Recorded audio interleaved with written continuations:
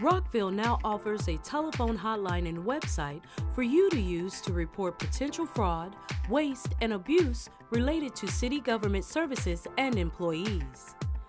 You can make your report anonymously by phone or online. The service is provided through a contractor independent of the city and promotes transparency and provides an opportunity for the city administration to be made aware of any potential problems. For more information, head to rockvillemd.gov slash fraud dash waste dash abuse.